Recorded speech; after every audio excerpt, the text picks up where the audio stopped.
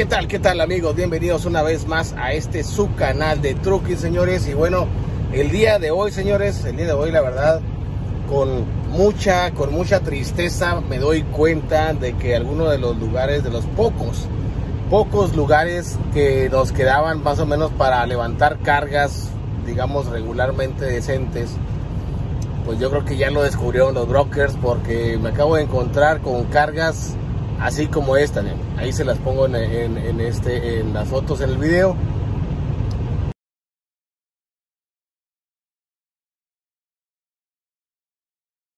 Y bueno, la primer carga, eh, ustedes pueden ver, es, es, básicamente del área de Houston con rumbo hacia, hacia la ciudad de El Paso. Hay que tomar en cuenta que esta ruta normalmente en la actualidad, hace todavía unas semanas, si no es que días nada más, eh, se estaba corriendo por 2.500 dólares de Houston a El Paso. 2.500 dólares, llegaban a subir las ofertas hasta 3.000 dólares es esa línea.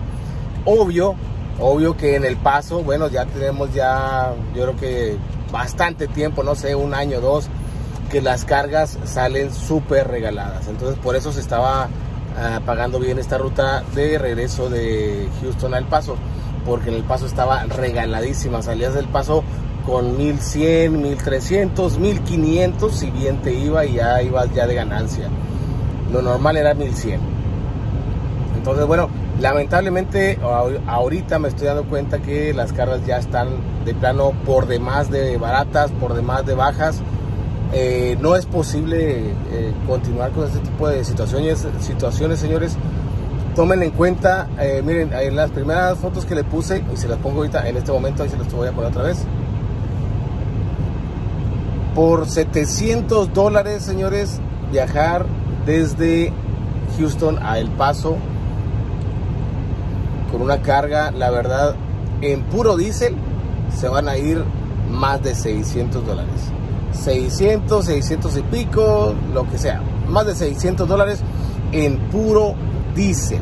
En puro diésel. Más hay que pagar también al chofer. Y muchos van a decir, sí, pero yo manejo mi camión. Sí, pero si tú manejas tu camión, también tú eres el chofer y tienes que pagarte. O sea, no seas tonto. Es obvio.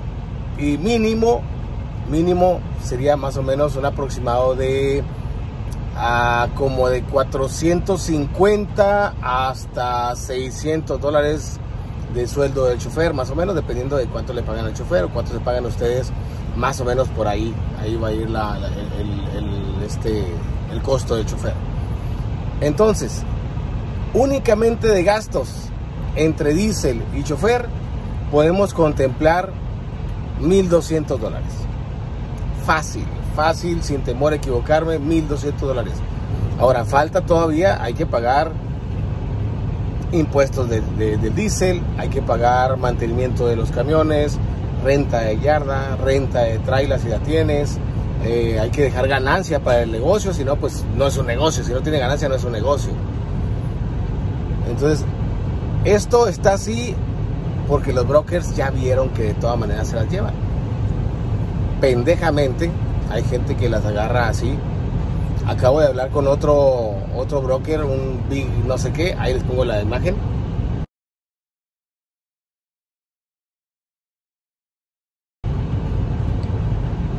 Y ellos me, digo, me, me dicen, oye, dice, pues lo más que te puedo ofrecer de Baytown hasta El Paso, lo más. Y ya le voy perdiendo. Todavía te ponen así como que para dar lástima todavía. Ya le voy perdiendo. Te puedo ofrecer 1100. Dijeron, no cubres mis gastos. Sería muy tonto de mi parte este agarrarte esa carga. Muchas gracias, no me interesa. Se acabó. Entonces, pues bueno, este ahí se las pongo, señores, ahí se las pongo, la verdad, este no me interesa regalar mi trabajo, no me interesa agarrar las cargas. No es eh, negocio, simplemente no se hace. Se los dejo de tarea, ahí ustedes sabrán si si realmente quieren regalar su trabajo, si quieren regalar su tiempo.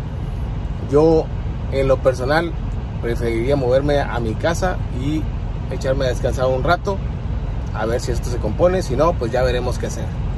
Porque nada menos la semana pasada se me tronó un camión allá en California y obviamente yo al de la grúa no le puedo decir, o bueno, si le digo, oye, pues déjame lo más barato, sabes que el broker está pagando poco, no me va a hacer descuento, no me a hacer descuento. Fueron, me jaló aproximadamente media milla, fueron 500 dólares. Ahora yo tuve que ir por el otro camión, el que estoy estoy trabajando. Fui a California, remolqué mi otro camión ahí a Los Ángeles para llevarlo al taller.